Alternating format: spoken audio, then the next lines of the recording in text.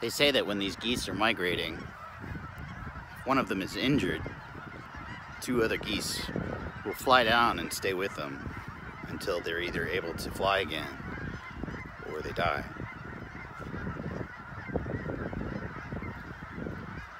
It's amazing how like in tune they are with one another. And clearly they work hard at it. They fly down here every year because they harvest the crops around this area in West Texas. And they come to forage off of the seeds and remnants, whatever's left. And they'll go out and clear the fields year after year to fatten up while it's snowing up in Canada. And then they fly home.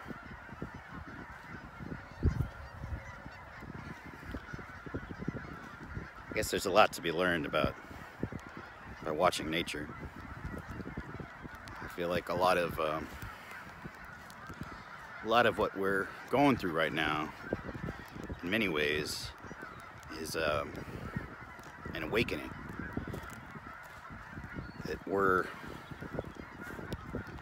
rather than thinking we're all born with rights. I deserve this. I deserve that. It's more like we're born with responsibilities, you know? Responsibility to take care of one another, to defend one another. And I feel like our society's kind of gotten to a breaking point where we can't ignore it any longer. There's a, a fiery rage boiling up for people that have suffered too long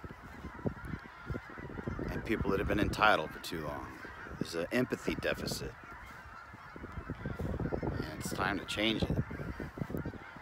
So I've been quiet for the last few months, but it's not because I didn't have anything to say. I think far from it. It's because what I did have to say probably wasn't going to help the situation. it was starting to make me bitter, hard, angry, at the very least frustrated. And so I've always believed that if you really want to change something, the only thing you can do is change yourself, you know? So the last few months I've been doing a lot of changing. It's been amazing. I feel like a completely different human being. In a good way. I, uh, I feel I honestly I've never felt this good in my life. And it's not like an artificial high. I've been meditating a lot and it's doing something to me. It's changing me inside. And it's not just quiet meditation, trying to quiet my mind. No, I've been doing oms. Eh, it's such a weird thing. I, I was never much of a woo-woo kind of guy. I'm spiritual. I'm a believer. But, you know, some of these people some of these people take it a little too far. It feels like performative, you know? It's not it's not actually trying to be better. But here I am. Look at me trying to judge people. but yeah, I've been meditating.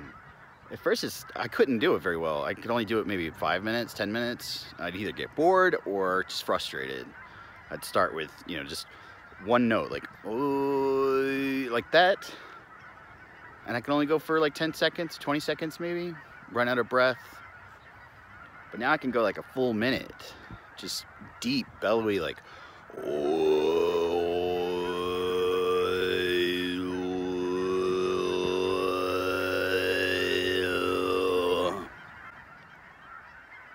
and I feel my insides being reorganized, being cleansed, you know? Like, like I opened up all the windows on a spring morning I cleaned the house, scrubbed all the counters, cleaned the floors, dusted everything, went washed all the windows, got all the laundry done, and I didn't have anything to worry about ever again, at least to the next time it gets dirty. And the more I meditate, the more it just kind of stays that way. But then the last month specifically, I'm starting to get answers I've been looking for my whole life. Questions about why I keep doing certain things or why I can't can't get over something, why I can't forgive somebody, why I can't be happy all the time, you know? and it's I've my depression has been it's been cured. The last month I haven't been depressed for anything. I'm just happy. I'll tell you what the big change was. The big change was the realization that I am love. I am love. That's all I am. I, there's no, when you are love, there's no room for anything else. There's no room for fear. There's no room for anger or jealousy, resentments. Nothing. Love is love. You either love somebody or you don't love somebody. If you judge somebody, you're not loving them. If you hate somebody, you're not loving them. And it's like uh, we're like we're like magnets, you know. We are magnets that attract whatever it is that we focus on. And my problem's always been that focus. I'm gonna be a good person today. I'm gonna I'm gonna love people today. I'm gonna love myself today. But then 10 minutes later, I'm like, oh, that person, I, I hate that they did that to me. Doing anything that changes your state from anything from I am love means that you are being yanked back into the past. You're being yanked back into that moment where somebody hurt you. You're being yanked back into that moment where you did something dumb. You're being yanked into your past. And you can't live in the present. And you can't feel good about the future.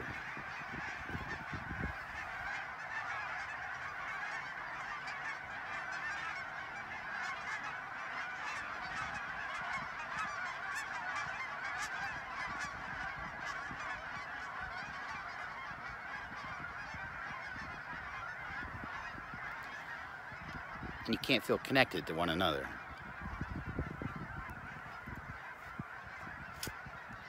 So they're like anchor points. If you think of it like there's an anchor point in your past that you keep getting yanked back to, you got to get rid of them. And you do that by going back into your memories and thinking about that moment and then reliving it with love. What would happen if that person that hurt me, if I went back there with love and reacted completely different in that situation and stood up to them with love, not judgment, not anger, not resentment. I just said, thank you. This is, you, you did this wonderful thing in my life that got me to where I am, to this moment in my past. And I love that. I will cherish it forever. But this is the moment where you hurt me and I have to leave you here because I can't carry you into the future with me if you're going to continue to hurt me. And you gently let go.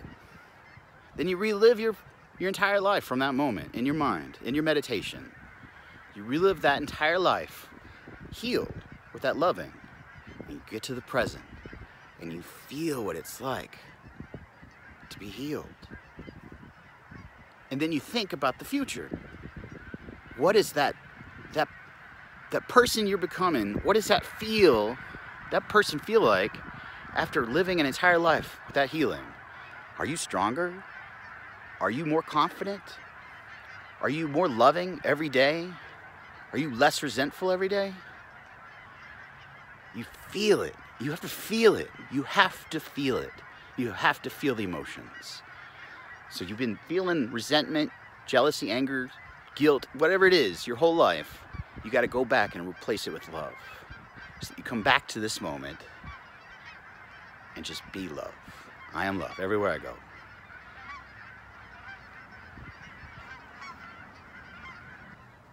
So I just wanted to give a little update. Uh, I'm going to be making videos. I am making videos now, starting now. They'll be more consistent uh, in the next few weeks. Uh, I finished my gig with Animaniacs and uh, it was wonderful. That crew was amazing. I loved every minute of it. Uh, I've been working on a project for Netflix for a little while and uh, that's gonna wrap up here pretty soon. In uh, a couple weeks, three weeks, I think. And then after that, I got a super secret, exciting project I feel like my entire life has been living up to this exact moment to do. I cannot be more excited to share it with y'all. Um, but you gotta wait. But until then, I love you all. And I, I'm thankful to be on this journey with you. And uh, I'm gonna hop on here. If you if you want me to talk more about meditation, what I'm experiencing, what I'm learning, because I'm still an amateur, but it has changed my life. So I can share what I know. Um, put your questions in the in the comments, and I want to I want to hear what you're thinking. Uh, yeah. Till then, keep smiling.